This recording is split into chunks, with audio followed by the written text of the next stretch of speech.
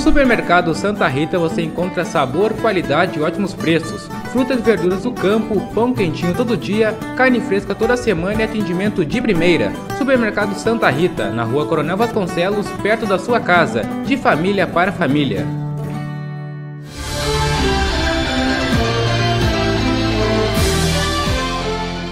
Os vereadores de TAPES participaram de uma reunião em Porto Alegre na terça-feira, 12 de setembro, com o secretário de Segurança Pública César Schirmer e com o chefe da Casa Civil Fábio Branco, para solicitarem mais segurança no município de TAPES. Conforme os vereadores, foi confirmado pelo secretário de Segurança Pública e pelo chefe da Casa Civil um aumento para o efetivo no policiamento de TAPES, em breve ainda sem data confirmada. A segurança é uma questão, um problema nacional é um problema estadual e está se tornando um problema municipal para nós.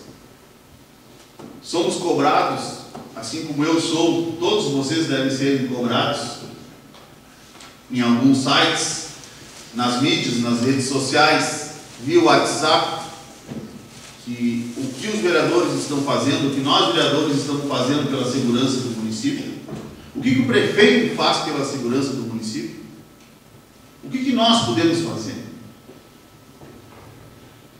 Ah, os vereadores não fazem nada. Eles não estão nem aí com a população. Só que eles esquecem, quem fala, que nós também somos população. Que nós também sofremos o que eles sofrem. Não como a população, nós também estamos todos juntos com o mesmo problema e preocupados. Hoje tu vai no mercado, tu vai num posto de gasolina, Tu anda na cidade e as pessoas te atacam. Já digo nós, vereadores, nós, e olham para nós e dizem assim, e aí? Vamos tomar uma solução, vamos, vamos, vamos tomar uma providência? Qual é a solução? E o monitoramento que foi prometido, tivemos já pela quinta vez a mesma batalha, duas vezes com o secretário Sérgio Chino diretamente, e promessas, soluções até agora nenhuma. Então, conforme a população, eu também estou muito chateado, muito triste e vamos continuar insistindo até termos um resultado, porque não podemos desistir, nós vamos continuar insistindo. Acho que nessa hora não tem mais nada que não possa ter com pressão, né? A senhora falou que já foi cinco vezes a Porto Alegre, eu me lembro de ter ido uma diretamente com o secretário César Schirmer, né, onde nos foi garantido o aumento do efetivo aqui, tanto para a Brigada Militar quanto para a Polícia Civil, e a senhora sabe bem disso. Então eu acho que através da pressão, realmente, é o que nós podemos fazer, porque a segurança é um dever do Estado, então só cabe isso, tentar pressionar os nossos deputados, os nossos governantes, que possam gerir dessa maneira, que possam trazendo um acalento, né, um acalanto para que a gente fique mais seguro. Então, realmente, o, o, grande problema hoje nós temos é realmente o aumento do efetivo, tanto na Polícia Civil como na Brigada Militar.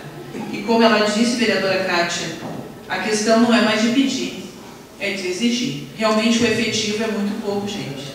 Nós temos finais de semana que nós temos que fazer BO em, Porto, em Camapuã, e polícia, brigada militar não tem na hora do, da, da, necessidade aqui, nós não temos, a brigada militar tem que acompanhar para fazer um BO, às vezes de uma Maria da Penha, de alguma outra coisa menos importante, a nossa cidade fica desprotegida. Então, é um trabalho bem que nós estamos nos dispondo, né, a comunidade toda, e estamos aí para, para ajudar.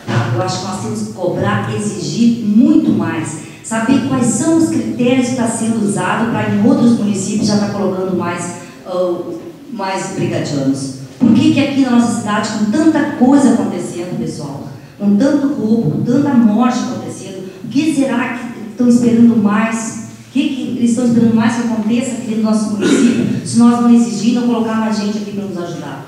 Eu acho que cabe também, mais uma vez, uma reflexão e um comparativo. Né? aquilo que o município faz e aquilo que o Estado faz. O Estado, que tem a responsabilidade da educação, eu não vejo nenhum instituto ou colégio, ou, pelo contrário, até o Instituto Federal está chamando para uma audiência pública de mobilização para a manutenção dos institutos federais. Um recurso que ele é desviado dos abundantes recursos que Brasil, apesar do roubo e da roubalheira e dos maus políticos e da usurpação daquelas estatais,